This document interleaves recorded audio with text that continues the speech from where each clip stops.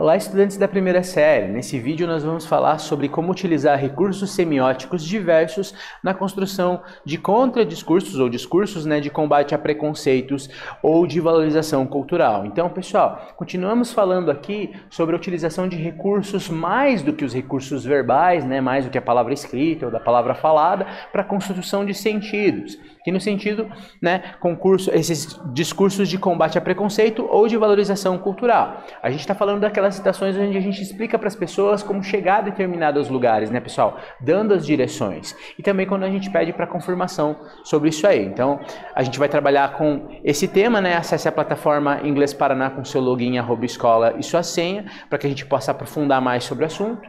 Aqui está o link da plataforma. A gente também pode fazer o acesso, o acesso à plataforma, né, pessoal? Digitando inglês Paraná no Google, indo até o site e seguindo as orientações para poder fazer o acesso à plataforma. Para você que não tem acesso à plataforma por qualquer motivo, não tem problema. A gente continua aprendendo juntos por aqui, tá ok, gente? Então, estamos aqui no curso de inglês geral, nível 3 iniciante.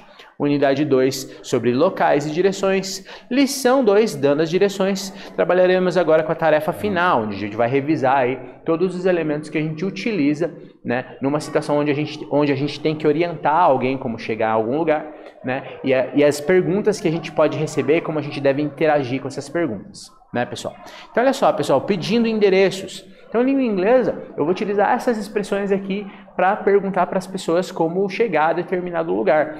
Isso em várias situações, né, pessoal? Pode ser que eu tenha uma entrevista de emprego num prédio que eu não conheço, eu não conheço a cidade, sou novo na cidade, pego as orientações, ou convido mesmo alguém para uma festa, né, pessoal? E aí eu indico para a pessoa onde é o local onde vai rolar essa festa, onde vai acontecer essa festa, né, pessoal? Então a pessoa pode perguntar: Where do you live? Né? Onde você mora? Né? Ou where does he live? Onde ele mora? Né? Trocando apenas o pronome, né, pessoal? Onde mora?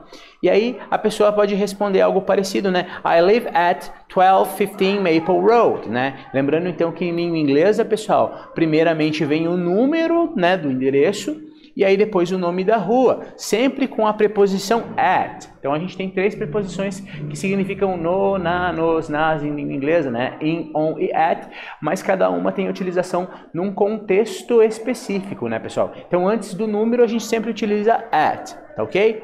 Cross the street is the Fourth Avenue, né? Então, é, the cross the street is in the Fourth Avenue, né? Então a rua que cruza é a Quarta Avenida, uma informação que você pode dizer para dizer que fica próximo ali da, né, da Rua Cruz, né?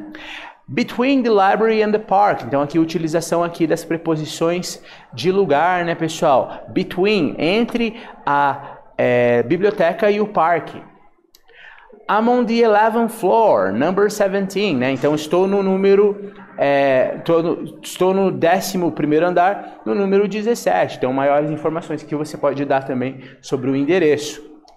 Adequação da fala ao contexto, pessoal. Então você pode perguntar esse onde você mora de maneiras diferentes, variando os graus de formalidade, né, pessoal? Você pode dizer where do you live, what's your address, or what's the address of the restaurant, né, onde você mora, qual é o seu endereço, ou mesmo qual é o endereço do restaurante, quando você fala de algum outro lugar específico. Tá ok, pessoal? Então, gente, nesse vídeo a gente aprendeu a convidar as pessoas para uma festa, né, pessoal? Que pode ser utilizado também essas expressões todas para que você convide alguém para ir em algum lugar. Espero que vocês tenham gostado e nos vemos numa próxima oportunidade. See ya!